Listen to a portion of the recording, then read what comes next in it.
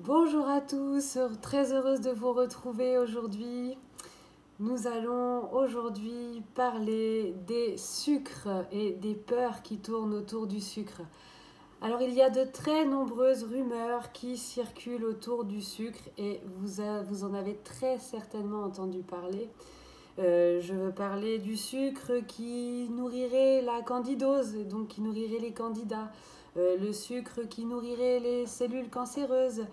Le sucre serait responsable du diabète, le sucre fait grossir, le sucre abîme le système cardiovasculaire, etc. etc. Alors, est-ce réellement le sucre qui est responsable de tous ces symptômes?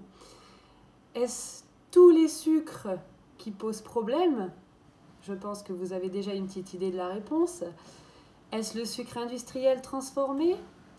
Est-ce le sucre des fruits qui pose souci Ou est-ce encore autre chose Ou peut-être plusieurs facteurs? C'est ce que nous allons voir aujourd'hui. Alors, une question, une grande question, c'est y aurait-il des conflits d'intérêts à faire croire à la population que les fruits sont des criminels pour détourner l'attention du réel problème? À vous de vous faire un avis. Alors nous allons voir aujourd'hui comment fonctionne le corps humain pour nous permettre de trouver la cause et donc d'éliminer la cause du problème, car ceux qui suivent mes vidéos ont compris que je m'intéresse à une vision holistique de l'être humain, c'est-à-dire que je prends le corps humain dans son ensemble et non le problème de manière isolée. Et je vais vous dévoiler aujourd'hui quels sont les véritables responsables de ces symptômes et maladies. Je suis Noémie, nutrithérapeute par l'alimentation végétale, spécialisée dans les problèmes digestifs, la fibromyalgie ainsi que la détoxification du corps. Et hum, donc aujourd'hui, le sujet, ce sont les peurs, les rumeurs, les croyances qui circulent autour du sucre et par conséquent autour des fruits. Abonnez-vous à ma chaîne si ce n'est pas déjà fait. Cliquez sur la petite cloche des notifications pour euh, être au courant lorsque je sors mes vidéos le vendredi en temps normal. Et vous pouvez également me solliciter euh, sur mon adresse mail que je laisse en description pour vous renseigner sur le programme d'accompagnement de 10 semaines avec suivi sur un an. Je prends 15-20 minutes pour discuter avec vous, pour voir si ce programme d'accompagnement vous correspond et savoir si je peux vous aider. Alors aujourd'hui, il y a des nombreux régimes à la mode qui préconisent d'éliminer tous les apports en sucre en promettant votre rétablissement. Alors permettez-moi de vous dire que à pratiquer une alimentation sans sucre, je parle essentiellement là du sucre des fruits, l'état, votre état de santé va obligatoirement s'aggraver. Alors, pour les personnes qui ont des résultats avec l'alimentation cétogénique, paléolithique, euh, régime signalé, etc., je vous répondrai c'est normal parce que vous changez votre alimentation et vous allez bien souvent vers une alimentation plus saine. Mais ce n'est pas le fait d'enlever les sucres qui vous aide. Alors pourquoi? Parce que la, plupart des problèmes de santé sont provoqués par une alimentation non physiologique très riche en protéines et en graisse, donc animale et végétale confondues, sachant que la graisse reste de la graisse, même si elle est végétale et soi-disant bonne, donc de l'huile d'olive par exemple, ça reste de la graisse et ça encrasse votre foie. C'est un autre sujet. J'ai fait des vidéos euh, que vous pouvez retrouver sur ma chaîne. La deuxième des causes de la plupart des problèmes de santé, c'est la consommation des produits industriels transformés, dont des sucres transformés qui sont nocifs pour la santé. Là, on est d'accord. Les sucres blancs, nous allons le voir après. Les, sucres industriels transformés sont mauvais pour la santé et nourrissent la, la candidose, le cancer, etc. Ça, il n'y a aucun souci avec ça. Ensuite, un grand manque de glucose, de sels minéraux, de vitamines et d'antioxydants est un des facteurs qui va déclencher une maladie. Une surcharge de toxines et de métaux lourds, la prise de médicaments, une déshydratation chronique et certainement encore d'autres facteurs qui rentrent en compte. Alors nous sommes d'accord que si vous donnez le carburant, le bon carburant optimal pour votre organisme, le corps humain fonctionnerait à la perfection. Dites-vous bien que si votre corps humain, si votre corps est malade, c'est que vous ne lui avez pas donné le bon carburant bien souvent durant des années. Lorsque le corps se retrouve encrassé et que votre foie se retrouve saturé, immanquablement, indéniablement, indéniablement, vous avez des symptômes et probablement une maladie qui va se déclarer. Lorsqu'on a le corps encrassé et, le foie saturé et que le taux de sucre augmente, qu'on va manger beaucoup de sucre, même celui des fruits, le corps n'arrive tout simplement plus à le traiter. Alors, ce n'est pas le sucre qui est responsable de ces symptômes. Le sucre est seulement là pour révéler qu'il y a un problème. Et c'est là qu'il y a une très grossière erreur qui est faite de la part de beaucoup de médecins, c'est que tous les sucres sont mis dans le même panier. Donc lorsqu'une personne est malade, on va lui dire d'arrêter les sucres, même les fruits, alors que ce n'est absolument pas le sucre des fruits qui va la rendre malade. Il y a même des médecins très qualifiés qui conseillent aux personnes atteintes de candidose, de diabète, d'obésité, de cancer ou encore de maladies cardiovasculaires de diminuer, voire de bannir les sucres sans différencier les sucres industriels des sucres naturels. C'est absolument dramatique pour l'organisme et c'est un conseil absolument euh, euh, en décalage avec, euh, avec la réalité et avec ce qu'il faudrait mettre en place. Donc d'un côté, nous avons laissé que les sucres industriels transformés, raffinés, que le corps ne reconnaît pas, qui est une nourriture pour les virus et bactéries, qui est bien souvent OGM. Donc je parle du sucre blanc, blond, brun, roux, la cassonade, le sirop d'agave, le stevia, les sucres issus de la betterave, de la canne à sucre, du maïs ou du riz.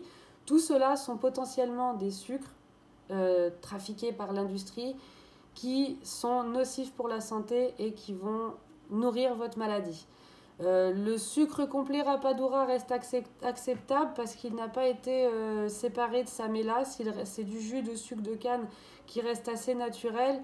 Il reste acceptable, malgré que si vous êtes très fortement malade, c'est bien aussi de le mettre de côté et de privilégier le miel. Euh, le sucre de coco également, si, ça ne vous cause pas de soucis digestifs, vous pouvez également en utiliser un petit peu. Donc nous avons d'un côté tous les sucres industriels transformés et de l'autre côté le sucre des fruits que rien ne remplacera car Mère Nature les a créés pour nous. Ils contiennent du glucose, des protéines, des acides gras, de l'eau structurée vivante, des minéraux, des antioxydants, des vitamines, des phytonutriments et tous les autres composants que même la science n'a encore pas étudiés et qui sont pourtant euh, constitués, qui sont qui sont dans ces fruits et, qui, nourrissent toutes les cellules de notre corps. Alors le miel brut est un aliment euh, naturel qui est extrêmement riche et nourrissant et qui est antipathogène. Il est très actif. C'est pour ça aussi qu'il va créer certaines réactions chez certaines personnes. Il va réveiller les virus et bactéries, il va vouloir les tuer. Donc il y a des réactions. Alors cette vérité tant attendue est en train d'éclater au grand jour et il est temps de remettre les choses à leur place et de disculper les fruits de toute responsabilité, peu importe de quoi vous souffrez. Ce sont les fruits qui vont vous aider à guérir.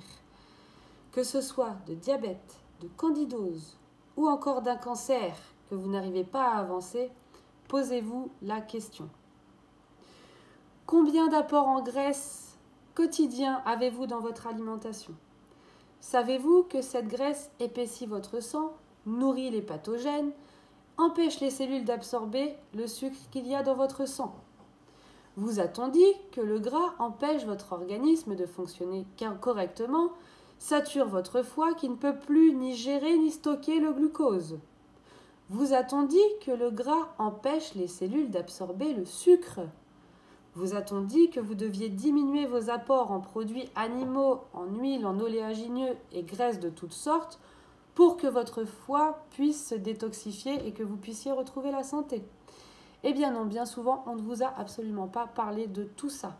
Depuis des, décennies, on veut vous faire croire que manger des produits animaux extrêmement gras avec des protéines extrêmement complexes à digérer est tout à fait normal. Et aujourd'hui, on veut vous faire croire que c'est les fruits qui vous rendent malade. Et si cette phobie autour du sucre était, comme beaucoup d'autres choses dans notre monde, organisée? Et si, une fois de plus, les industriels tenteraient de nous maintenir dans l'ignorance pour nous affaiblir, nous empêcher de guérir et nous contrôler toujours un petit peu plus? Le responsable du diabète, c'est le gras qui empêche l'assimilation du sucre. Ce qui nourrit le cancer, c'est le gras et les mauvais sucres bien évidemment, l'alimentation industrielle, les métaux lourds, les produits chimiques, tout ça sont aussi des facteurs qui rentrent en cause. L'obésité vient principalement d'un foie qui est saturé et bien souvent il est saturé avec du gras.